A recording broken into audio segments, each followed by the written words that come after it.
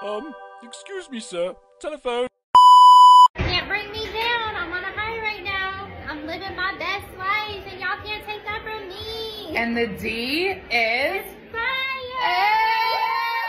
Watching, you know, the negative comments towards him. I can handle negative comments towards me because I don't care. But when it's about somebody that I love, I want to clap back. And that was my, you know, clap back a little bit. I'm going to come to his defense. He's my man. Like, that's what wives do. Got to know though, Gypsy, how many men wrote to you wanting to date you while you were in prison? Um, a lot. I, I need some numbers. Well, give me an estimate.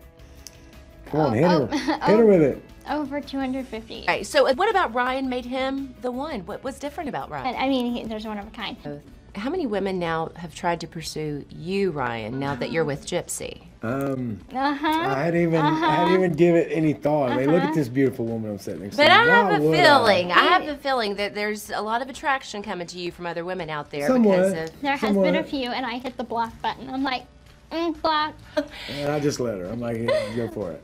Um, I don't know if you've noticed in your comments, a lot of people have been asking about Lana Del Rey. Mm-hmm, Um, do you have a favorite Lana song? I do, I do. I, I love um, Young and Beautiful. Amazing. Yeah. And everybody's been asking, so we're like, all right, we've, we've got to get the answer for Yeah, I. I had I had a comment where they were like, "Are you a Lana Del Rey fan?" And I was like, "Yeah, I like her music." So one response, one clapback in particular, has just gone viral. So I'm curious. I see you both laughing. Uh, first concert you want to attend? um, Say it. Taylor Swift. There it is. I can't You know you wanna say You it. know I want to Say say it.